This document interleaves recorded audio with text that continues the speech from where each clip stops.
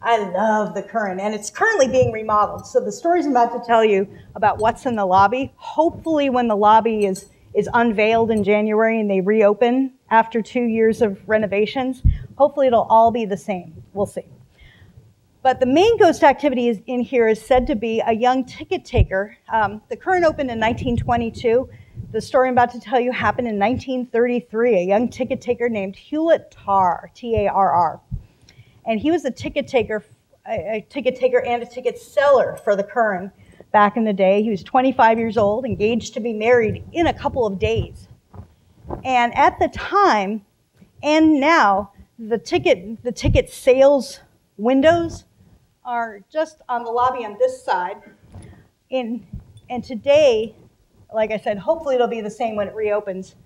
Um, you go into the lobby and, and you deal with the ticket people in there. Back in the day, the ticket window was on the outside, so where this poster is right here, that's where, that's where the ticket window was. And on November 29th, 1933, a young thug walked up named Eddie Anderson. And Eddie was doing petty crime all over the place, but he got a girl. And that girl made him uh, made him want to do things for her. And so he was a young criminal. It's like, how do you get nice things for your girl? You steal them. And he wanted to take her on a nice date to the show that was at the Curran that night.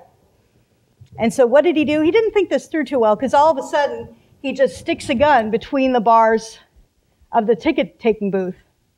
And he said, Give me two of your best tickets. Once again, it's like if you want to catch the young thug who did this, maybe you just wait an hour and see who's sitting in that seat. But no. Um, so he stuck the gun through the bar, but when he did, he um, somebody bumped him, and the gun accidentally discharged and went right through Hewlett Tarr's heart.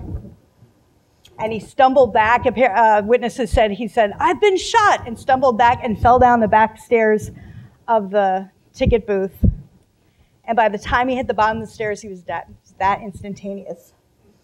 And Eddie Anderson um, ran away. Uh, they, they searched two weeks for him, finally caught him after two weeks, sentenced him to, to death. He went to San Quentin, was hanged, and is buried in Boot Hill in San Quentin. And by the way, his girlfriend never showed up for the trial. Uh, Hewlett Tarr's fiance showed up every day of the trial to make sure that, that he got justice. Anyway, Hewlett Tarr is said to live today as a ghost in the lobby of the Curran, and where he's most often seen is in the lobby. Um, the, the main doors of the Curran into the lobby are have been and, and will probably still be today glass, and on the other side of the lobby is a mirror. It's said that when people are walking by late at night, they'll look and they'll see, instead of seeing their reflection, they'll see Hewlett Tarr. But he's not the only ghost in the Curran. Because the old theater manager brought in a medium.